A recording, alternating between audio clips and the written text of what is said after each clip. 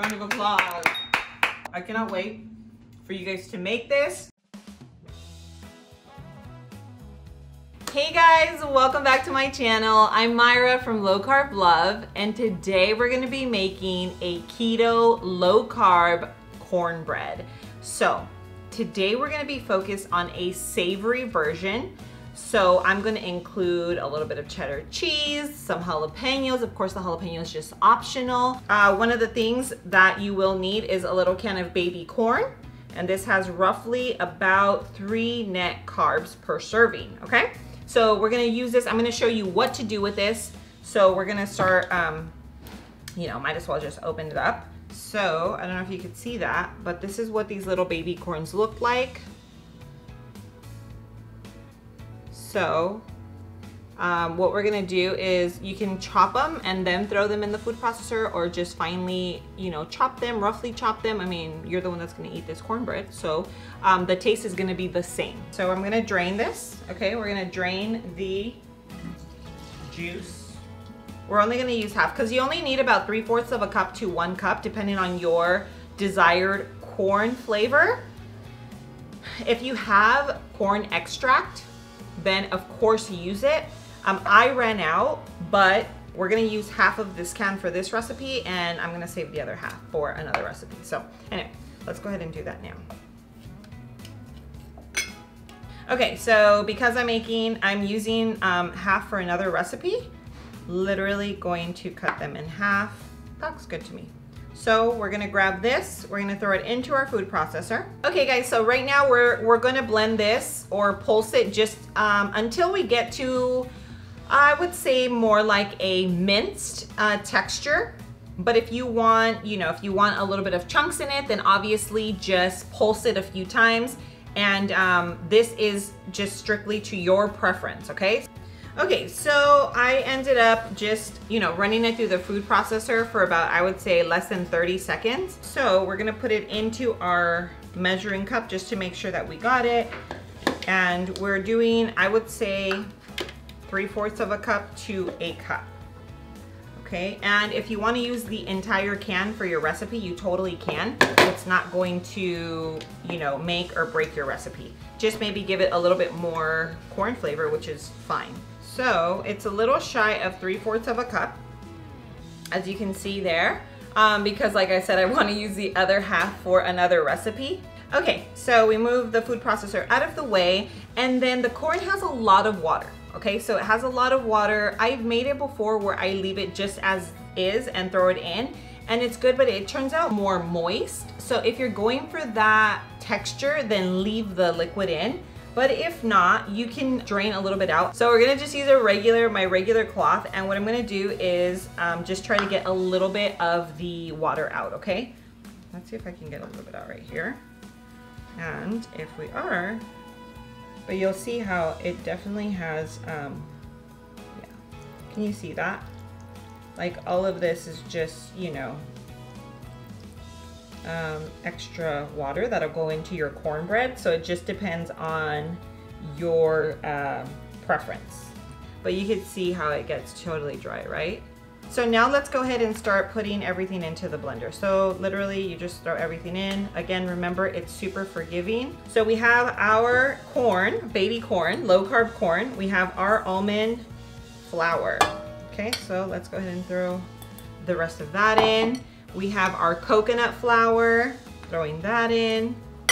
Our baking powder, okay?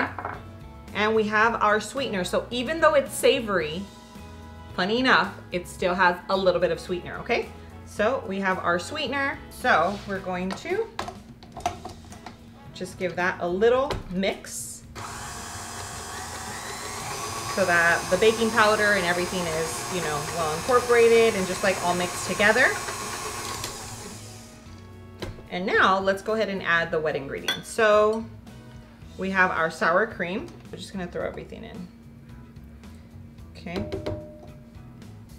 And uh, this recipe, I actually had it on my Instagram and it was super, super, super popular two years ago. Um, this was before I started my YouTube channel, before I had any recipes out. Um, I, it literally took me about a solid two weeks of recipe testing every single day, like several batches a day. So yeah, I'm happy to share this with you guys. And now this is the melted butter. Lastly, we're gonna throw in our eggs, okay? And once you have everything in, then we're just gonna blend it up. Okay, so that looks, that looks good. We have the batter. Now what we're gonna do is incorporate our cheese. So we have two different cheeses here. I have this one that I just happened to get on sale. Um, it's sharp yellow from Cracker Barrel. And then we have the Mexican cheese blend. So I just think for the sake of like that sharpness, I'm going to use this one here. But if you have like a pre, you know, shredded or even you want to shred it yourself, that's totally fine. Just use your favorite cheese. Okay, so we're just gonna aim for about a half cup of sharp cheddar cheese. And we're gonna mix it into our cornbread. And we'll just save a tiny little bit to top, um, to, you know, for the topping, but that should be good. So we're gonna do a half cup into our batter. Just gonna measure it out. We'll save the rest of this just to top it, okay? But we're going to um, put in half cup. We're just going to mix in the sharp cheddar. Yummy. To be nice and cheesy. Okay, so now that it's all mixed in, I'm gonna add a pinch of salt. You don't have to, it is optional. So um, we're gonna make it in here, in this little guy here. I don't want it to stick, just in case. So we're gonna spray. So let's go ahead and spread this out. If you want a thicker cornbread, just use a smaller pan or double the recipe. So here we go. And we are going to add some jalapenos. Um, in order for the jalapeno just to have like a really good taste and no spice, you just need to take out the seeds. So I'm gonna show you how to do that because uh, with my cornbread, I really don't want spice, um, but I do love the, the taste of jalapeno. So, so I want it to look pretty, so I'm gonna um, do like little slices. And this is just um, to taste, right? And if you hate jalapenos, like not only the spice, but the taste, then of course you can just omit them. But we're just gonna place them on top. And then the rest that we had, that's just like, I would say maybe about a good tablespoon of cheese. We're just going to sprinkle it on top, okay? And if you wanted to put more, you just shred a little more and you use that because you guys are the boss of your kitchen. Okay, so I think that's good.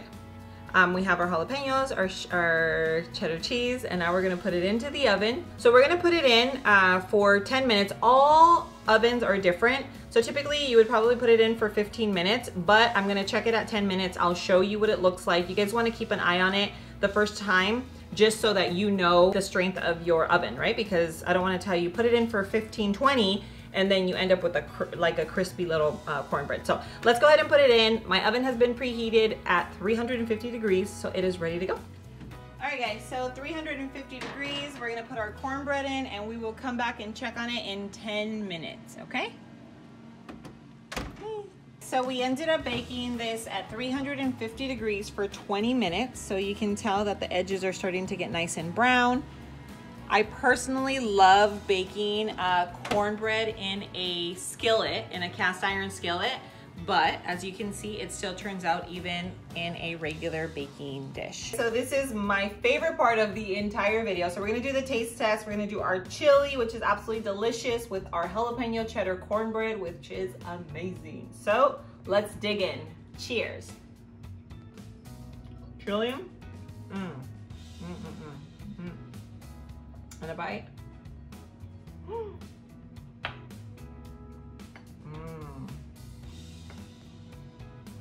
Wow. Mmm. You know, I could have thrown in more jalapeno into the into the batter. But this is so delicious. You guys are gonna be so obsessed. I wanna do it just alone so I can. Mm, mm, mm, mm. These combined, guys, the perfect dinner.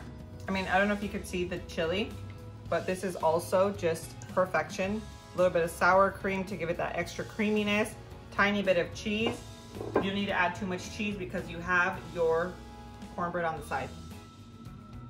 Perfect meal. Mm-mm-mm. Round of applause. I cannot wait for you guys to make this. Tag me so that I can see your recreations. Everyone loves seeing them. I do too.